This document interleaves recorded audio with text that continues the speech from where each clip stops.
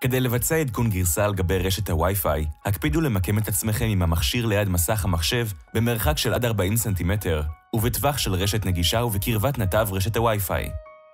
ודאו כי המכשיר מחובר למתן. היכנסו לכתובת www.orcam.com/wi-fi-set במחשב או בטלפון החכם. בדף האינטרנט של הגדרת רשת הווי-פיי שלכם, הכניסו את שם הרשת והסיסמה.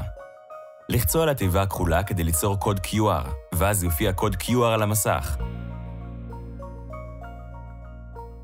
כעת, הצביעו על הכיתוב אורקאם בבקשה קרא קוד מעל קוד ה-QR.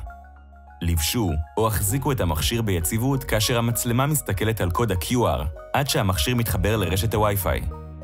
במקרה שיש לכם קושי להצביע לעבר הכיתוב, אורקאם בבקשה קרא קוד, תוכלו גם להקיש על משטח המגע והמצלמה תצלם את קוד ה-QR. אנא ודאו שקוד ה-QR גלוי במסך שלכם. אתם אמורים לשמוע מספר ציצופים, ואחריהם... מחובר אל רשת נטוורק, עצמת החיבור לרשת מעולה. נא לשים לב, אם יש עדכון גרסה זמין, המכשיר שלכם יתעדכן אוטומטית ואתם תשמעו מספר הודעות על ההתקדמות. אחרי שהגדרתם את רשת הווי-פיי, בכל פעם שתחברו אותו למתן באזור רשת הווי-פיי, המכשיר שלכם יבדוק אם יש עדכוני גרסה, ויתקין אוטומטית עדכונים חדשים. אתם צריכים להגדיר את רשת הווי-פיי שלכם רק פעם אחת כדי שהעדכונים יתבצעו לאחר מכן.